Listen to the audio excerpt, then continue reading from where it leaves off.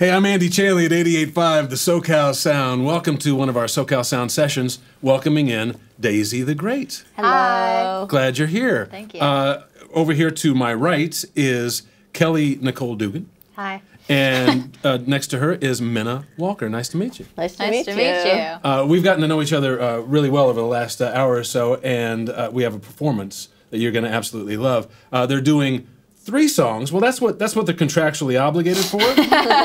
but since the song uh, "Record Player" is one of the most played songs this year on 88.5, uh, we thought maybe we'd twist their arm into giving you a version of that. Before we talk, can we do that? Sure. All right, this is the their original version of uh, the record player song. This is Daisy the Great on 88.5.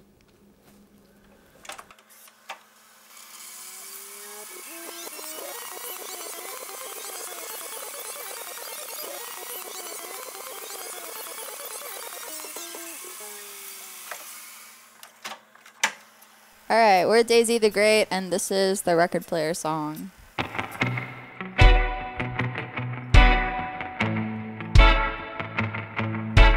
I've got a record player that was made in 2014. Dyed my hair blue, it came out a C6 soda green. I like vintage dresses when they fall just below my knees. I pretend I scraped them coming in the Sometimes I think all I'm ever doing is trying to convince myself I'm alive. Sometimes I think I'm ever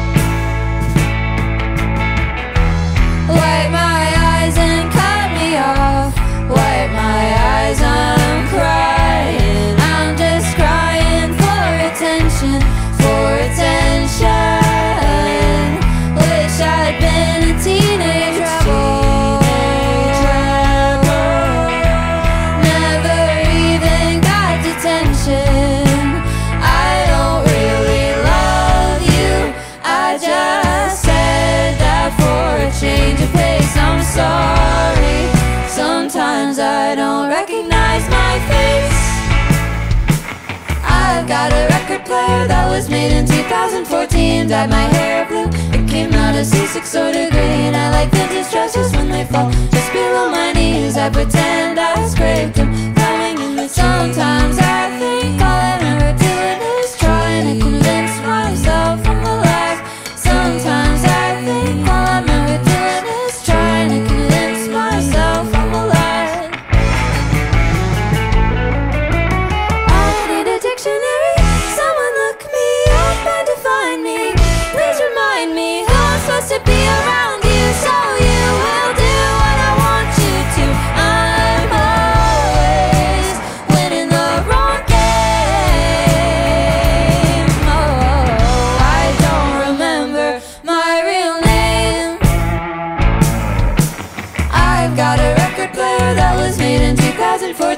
Dyed my hair blue, it came out a C6 soda green. I like vintage dresses when they fall just below my knees. I pretend I scraped them coming in the Sometimes I think all I'm ever doing is trying to convince myself I'm alive. Sometimes I think all I'm ever doing is trying to convince myself I'm alive.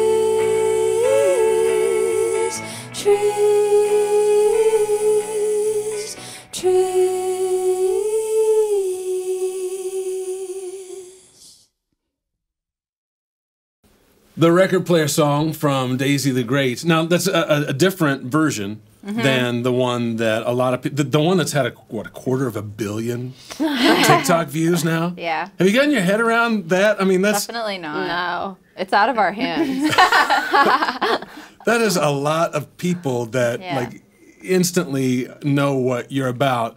Uh, it kind of reminds me of like uh, you know the wet leg phenomenon of, of this uh, last year. How I mean to go from a a a young band. I mean, you, you the band's only what six years old. Mm-hmm. To all of a sudden you're going across the country and everywhere you go, people know the words to your songs. That's that has to be pretty heady. It It's wild. is- yeah, Yeah. it is really wild. We we put out the record player song in 2017, and it was the first song that we ever released. And then, uh, it we released some, some an album and an EP after, and it was like having some viral moments just on the internet, which was really exciting. Um, but it definitely with the new version with AJR, um, definitely had another like Yeah. giant like resurgence and new wave of of uh, fans finding us, which was super exciting. We got to go on tour uh, in ways that we would never have imagined. Like pre-pandemic, we went on one DIY tour that we called like the venues ourselves and just booked the whole Yeah. thing. Like we had no team; it was just us. And then like after that, after all of this, we've been on like some really incredible tours, like able to open for amazing artists, uh, and it, it really has been like a huge dream come true in many ways. Terrific timing, by the way, to put out your first full length in 2019, right before a, pan- a global pandemic hits. uh, that has to. love, love it. I, I, I've talked to so many artists, and, and that you know is a, a, a very common thread of how uh, just debilitating that is when you know your instinct is to get out and play these Yeah. shows for people, Yeah. and you just can't. You can't. yeah. I do think it like we were such a band that just like loved to perform and like we for a long time were super ahead of ourselves in performing. Like we would book shows in New York all the time and uh we would we wouldn't play any of the record that was out, like our 2019 record. We would just play all these new songs we had written, and we hadn't recorded them. Uh, and then w- w- when the pandemic hit, we were like, okay, I guess we should record our album now. Yeah. So I, I, in some ways, it was like a push to get us into the studio. Um, because I don't know, like, because we How just like loved performing, taken, so we like never like took the time to record. um, so th- that was cool. It was also cool to just record an album um, of songs that we had like performed before because they were like Yeah. pretty lived in. Yeah. Um, when we recorded them. Yeah, well, it's, it's kind of like uh, in auto racing uh, under a yellow flag. Uh, you can go into the pits and, and nobody's Yeah, going to pass yeah. you. you. Everybody can go in and record. Yeah. and, Yeah, yeah. And, uh, and make sure you uh, use the time wisely. Well, th- speaking to that, the reason that you're out on tour right now Mm-hmm. is a brand new album. It's called All You Need Is Time. It's available now wherever you buy records. Makes a lovely stocking stuffer. uh, and Big stuff. yeah, it won't fit in a stocking.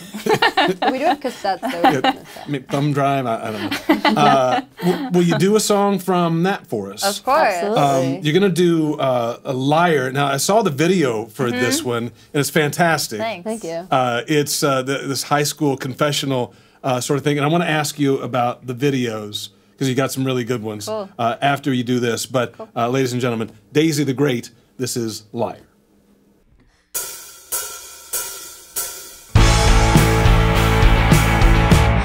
Exhausted all the words I know, trying to find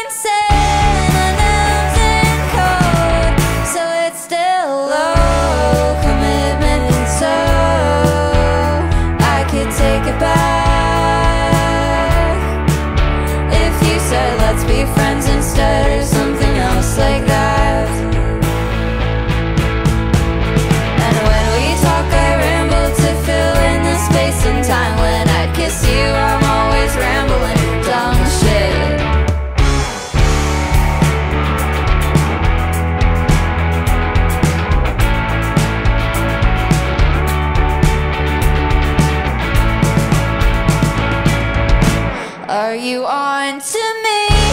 Am I the villain? Am I just a young,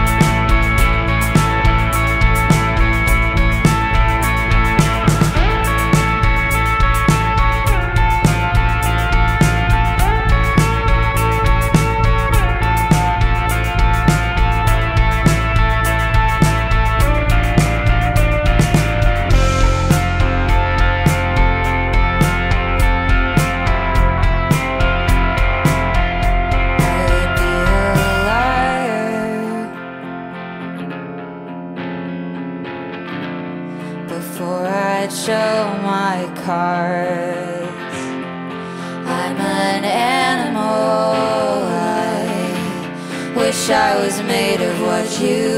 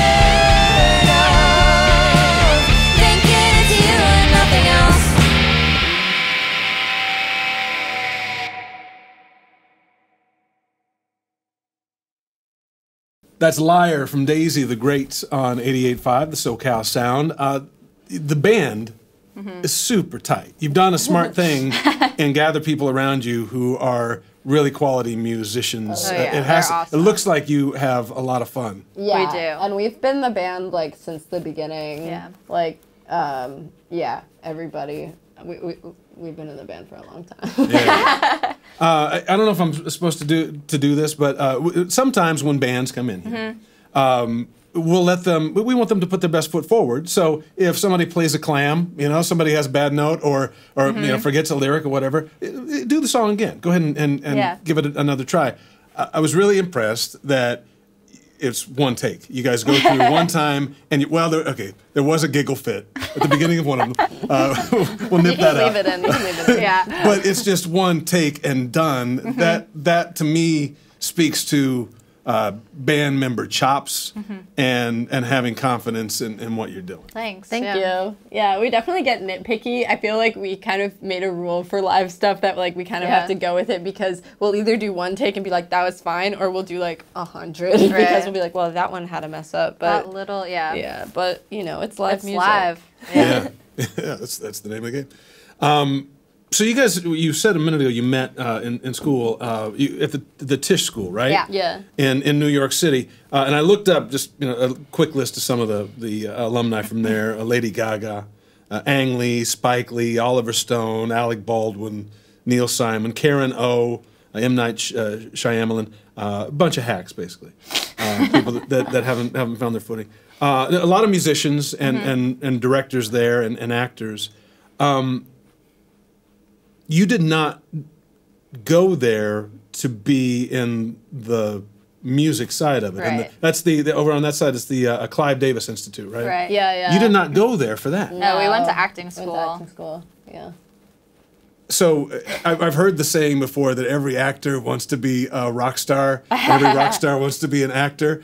Uh, That's funny. i- is it, it? It feels like um, that there there must be some common thread and, in just wanting to tell a s- story. Definitely. Yeah. And we're al- also like artists in many ways. I think that we're just kind of creative and like artistic minded people and that uh, it comes out in acting and in singing and also in like visual art and we love directing our music videos and being a, a big hand in that uh, as well. So I think it's also Yeah. like just music was something that we really connected over and like had a lot of agency to like make progress in Yeah. music uh, and it just was something that like brought us a lot of joy and luckily it's like working out pretty well Yeah. right now so It's, it's like- also just like yeah. me and Kel. I think that like having a band, we were able to create like a whole world. Uh, and like, there's so many aspects of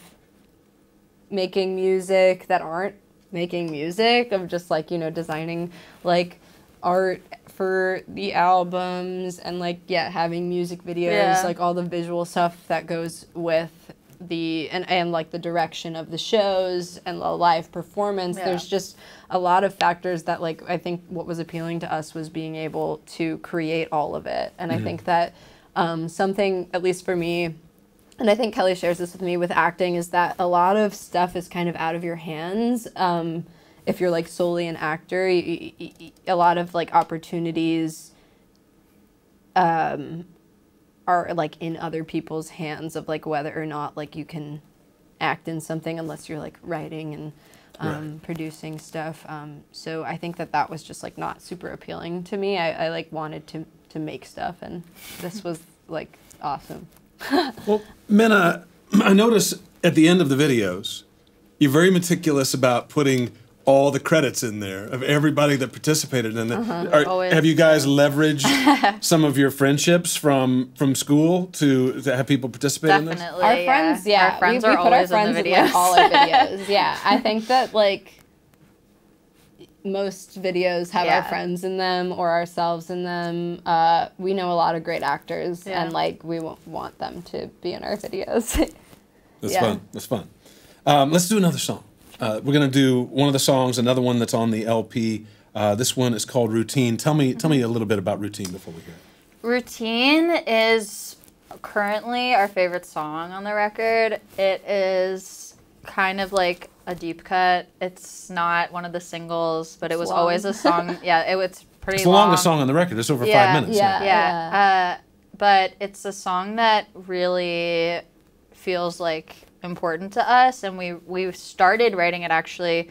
We we opened for the Indigo Girls on tour in 2019 for a few shows, and we like started writing routine there with Emily from the Indigo Girls, and then we took it home uh, and wrote the song after that. And we were like playing with like chord progressions and stuff Yeah. uh, with her. It was cool. And so it just feels like it started from a really special place, and then we're really proud of the, the song Yeah. that came out of that. It came out of. Uh, I remember we were sitting. Kelly at this time lived in Manhattan in an apartment, and I went to her house, and we were gonna like we are like okay, let's work on that song because we like mostly just had the chord progression, and we like opened up my notebook, and the whole chorus is just like a paragraph from my notebook, and we were just like okay. Like, can you tell that you're repeating yourself? Has it become routine? We were like moving the words around to see like where they would like fit Fit. musically into the chorus, into the melody. Um, and that really just felt like such a fun puzzle for us Yeah. to do. That's great. Yeah. All right, let's have a listen. This is Routine, Daisy the Great on 88.5 The SoCal Sound.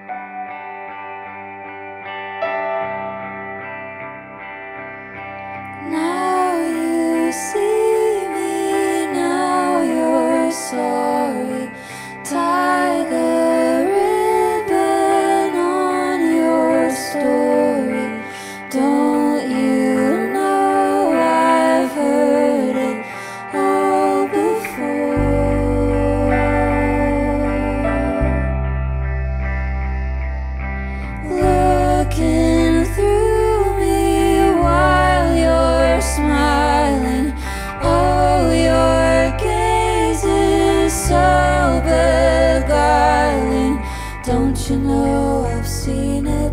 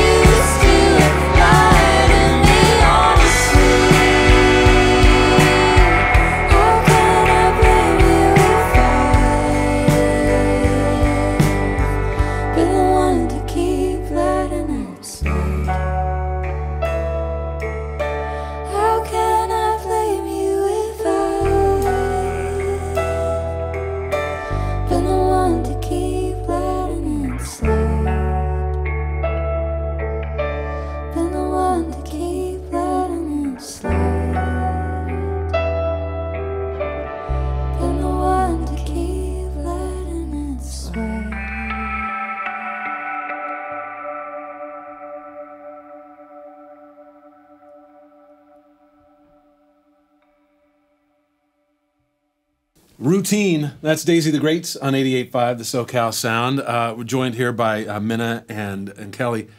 You know, uh, it's. I have a theory that Daisy the Great is actually a funk band in, in, in disguise. Because you know, there are songs that are, you know, straightforward rock more, like, you know, Liar and so forth, but like Glitter and Easy, there's a there's a funk Yeah. vibe to it. Thank you. Yeah? Sure. All right. I, I- I didn't know if there was, uh, you know, some. There's not a big plan to be a funk band, but we definitely like to dip into a lot of genres, and I think if we we like to just craft the the instrumentation around whatever feels like it's gonna get the message or the like you know Yeah. soul of the song across. So Yeah, sometimes easy, we definitely wanted it to be Yeah. like a fun breakup song, Yeah. Like that- groovy, Yeah, yeah. disco. we'll just go towards that if it seems right. yeah, Yeah. Well, just to me, it speaks to a, a vocabulary for Mm-hmm. um, musicianship. You know, different that that the the people that you play with and you guys both have a, a pretty good vocabulary of different types of, of musical styles. Thank and can you. call on them when, whenever you want. When It's, needed. it's pretty impressive. Thanks. Thanks. Tell me about your first instruments. Ooh. My first instrument, well, it kind of, if you count singing, Yeah, it singing was both of our first Uh, but I started playing piano when I was six. Had lessons when you were six? I had lessons, yeah, I had lessons. And then I actually quit my lessons when I was 11. But then I started writing music. And so I asked my mom if I could restart my piano lessons because I realized that I didn't really have a huge interest in like playing a ton of classical piano, but that I was super interested in music theory. So I restarted my lessons and then I would just spend my lesson like asking questions about piano and music and like just random stuff and try and understand different uh, stuff about piano. but that was really that was really exciting because it was basically just having like a piano or like a music tutor rather than being like I'm gonna like play Bach forever, Right. um, which is extremely impressive and I wish I could do that, but I only have like a couple of things that I retained. Uh, but I, I was happy to have that time again and to Yeah. restart. That's an amazing when you when you get a, like I know a tiny sliver of it, but music theory. The moment I realized, oh, so on the guitar when you go up two frets, it's a full step. Yeah, yeah. Oh, that's why they skip a black key on the piano, and all of that kind of comes together. It's like, yeah. oh, Yeah, when you can tie the instruments together, that's like a Awesome. big a big wow moment. I mean, uh, my about first- you, Yeah, my I think my mm, bad time for a sip. Okay. Uh, my first instrument I think was piano.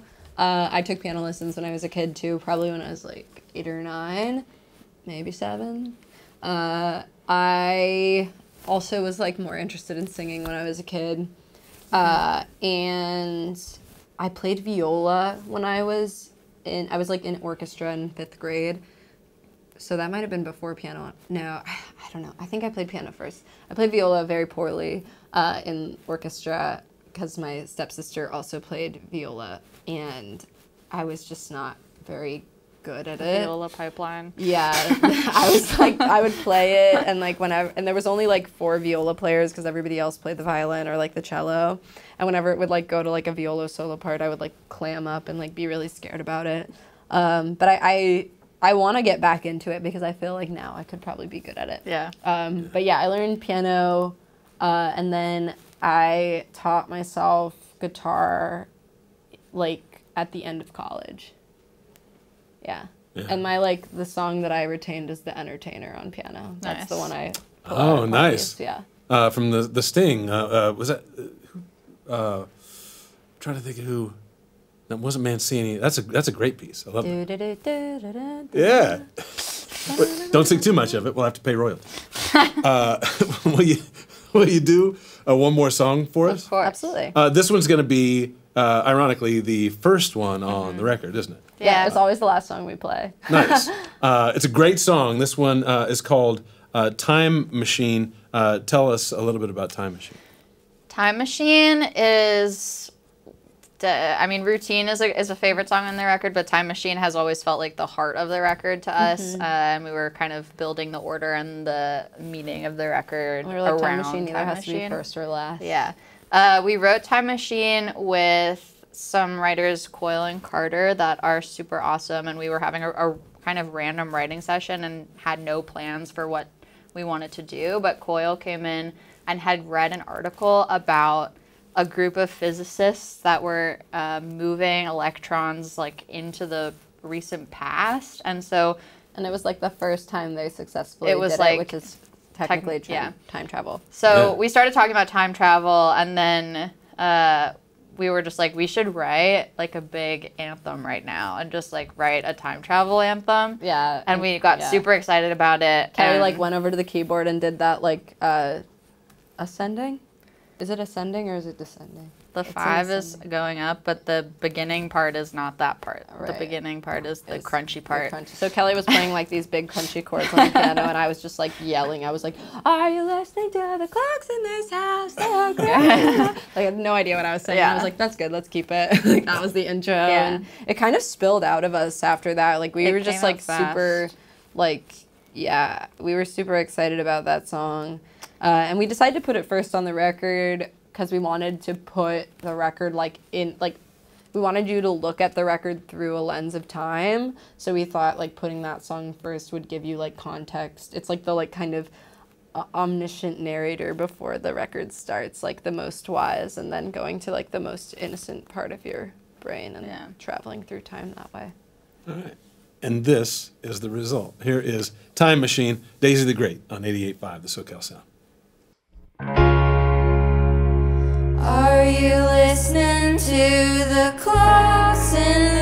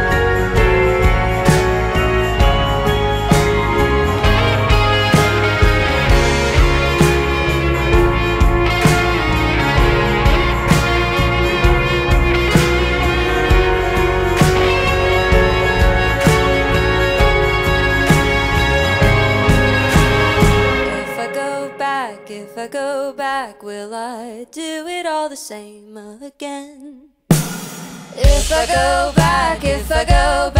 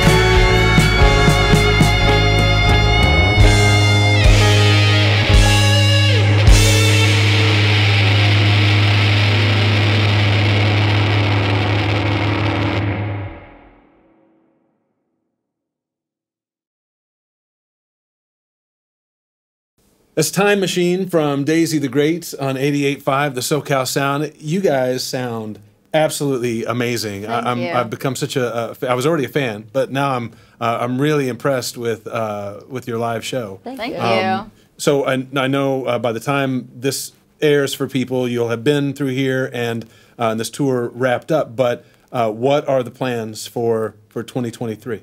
We are going on a headline tour in 2023, so we're in the middle right now of releasing dates for that. But uh, come come January, I would say that they'll all be out. Yeah. Um, And we we just uh, announced LA. We have an LA show. oh yeah. Yeah. Um, We are playing. I think it's the end of April in LA. I think it's the 28th. It might be the 30th. I think it's the 28th. Uh, and we're playing the Echo, Nice. which is uh, exciting. Yeah. Yeah. All right. Make sure you get tickets to go see them live. Uh, it's a really tight, good uh, live band. Thank you. And go get the new album. It's called All You Need Is Time. See, now I get it. Time Machine. All right. Yeah. Exactly. Exactly.